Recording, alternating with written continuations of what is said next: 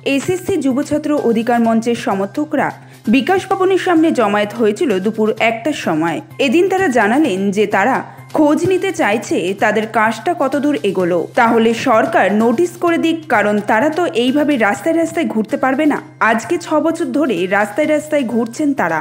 কেনই বা ঘুরবেন তারা? দু হাজার ষোলো সালে পাশ করেছেন। এখনও পর্যন্ত তাদের নিয়োগ হয়নি কেন? এদিন এক চাকরি প্রার্থী জানালেন, উনারা সিট ভ্যাকেন্সি ক্রিয়েট করেছেন। আমাদের নিয়োগটা দরকার, এখন কোনো আইনি জটিলতা নেই। আমরা আইনি জটিলতা চাইও না। তাহলে কেন আমাদের এতদিন ঝুলিয়ে রাখা হচ্ছে? আমাদের দাবি দাওয়া তো তেমন কিছু নয়। ওনারা সিট ভ্যাকেন্সি ক্রিয়েট করেছেন, আমাদের নিয়োগটা দরকার।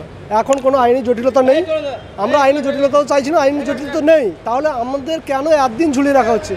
প্রসেসিং হয়ে গেছে আপনি ছেড়ে দিন আমরা জব করি আমরাও ভালো থাকুন আমরাও ভালো থাকি এটাই তো চাইছি আর কি চাইছি? আমাদের চাওয়ার আর কি আছে? আমরা এসএসসি যুবছাত্র অধিকার মঞ্চের সমর্থক। আজকে আপনারা কি করতে আমরা খোঁজ নিতে এসেছি যে আমাদের কাজটা কত দূরে গেলো আমাদের কাজটা এগিয়ে গেলে আমাদের আমাদের নোটিশ করে দিন আমরা তো এইভাবে রাস্তা রাস্তাতে ঘুরতে পারি না। আজকে ছ বছর ধরে রাস্তা রাস্তায় ঘুরছি এইভাবে ছ বছর ধরে রাস্তা রাস্তায় ঘুরবো কেন? পাস আউট তো। কোন সালে পাস করেন আমার দু হাজার ষোলো সালে পাস আউট করছি। Bureau report Nobel Bangla.